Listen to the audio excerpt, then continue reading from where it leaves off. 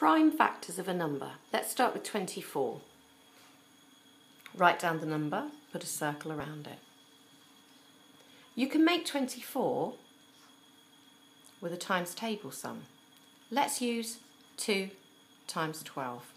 Again, put a circle around each number. When you branch the number into two factors, if you get a prime number on one of the ends, put a double circle around it. That's like a dead end. You can't go any further down that branch. Now let's work on the 12. How could we make 12 with a times table sum? Let's go for 6 times 2.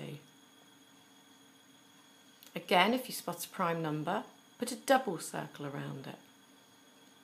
Let's work on the 6 because this is now a dead end. How do we make 6 with the times table sum?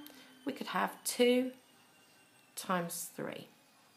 Both of those prime numbers, so let's put a double circle. Now, every branch has reached a dead end, so we finished. So we write down on this side prime factors of 24 are, let's see which numbers came up. At the bottom we've only got a 2 and a 3.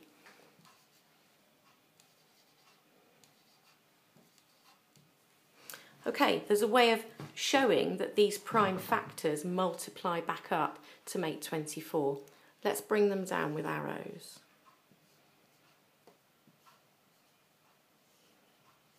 Okay, 2, 2, 3, 2. If we times these together, we should get 24. Let's just check. 2 times 2 is 4. Times that by 3, we get 12 times that by 2, we get 24, which is the number that we started with. So this is a way of expressing 24 in its prime factors.